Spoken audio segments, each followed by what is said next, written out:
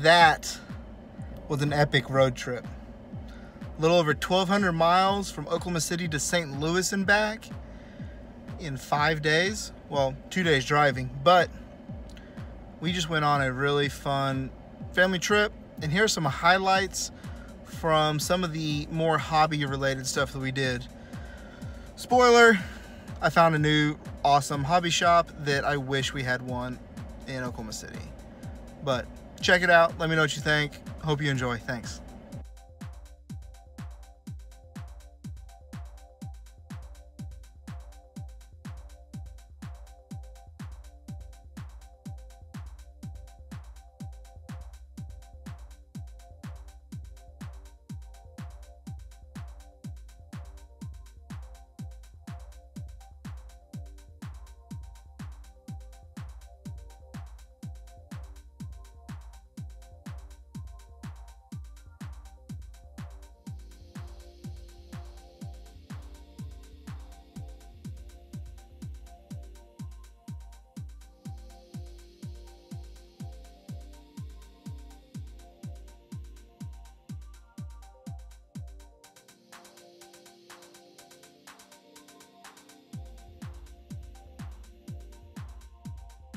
So our first stop was the St. Louis Zoo.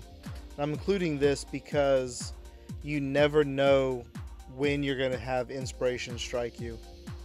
As we were walking around the zoo, we went into the insect area and I found these really cool beetles that I thought, man, I'd love to paint some tyranids like that. The next day, we went to the Arch and the Arch Museum. It was fascinating learning that the arch is actually part of the National Park Service, and this short clip is of the actual model submitted in 1948 by the architect who designed the arch. And of course, we had to visit some hobby shops. I have bought quite a bit of merchandise from Miniature Market online, and I was excited to learn that they had a brick and mortar store within St. Louis.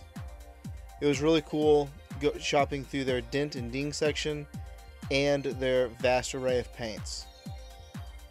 Here I find some Turbo Dork paints, which hopefully I can use to paint some Tyranids here in the future. The next day we visited the St. Louis Art Museum I found this dry brush from the 1700s. I wonder if they'll let me borrow it. Now on to my new favorite hobby shop that's way far away from me. This is Mark Twain Hobby in St. Charles, St. Louis, St. Louis, Missouri. I don't know if it's in the town or not, but anyways, they had a whole aisle dedicated to Woodland Scenics and other terrain manufacturer co- manufacturer companies. It was really cool. It was really cool seeing a shop not just about trains or Gundam or games, but they had so many different things. Great case of painted models.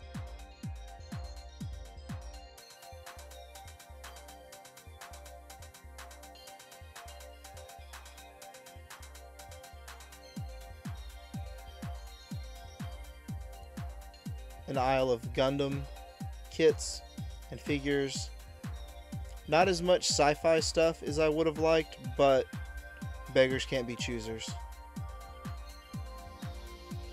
And of course, paints. They had so many different paint brands from Tamiya to Vallejo to AK Interactive and all the other products that they they come with that.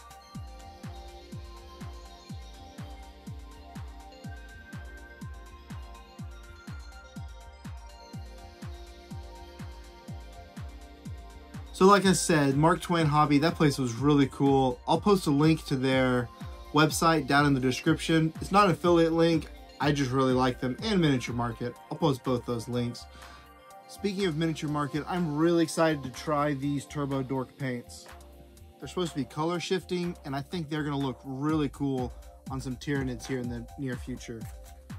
And as far as Mark Twain hobby goes, if you're in the St. Louis area, go check them out. If you're passing through, check them out because they had an awesome selection of different type of type of static grass. Granted, this is for trains. You can probably get a lot of this at a local train store if you have one of those in your area, but my local train store doesn't carry very much stuff.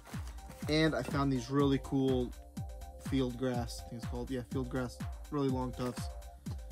And uh, I've got some board builds coming up in the future, so I picked up some of this foam safe super glue.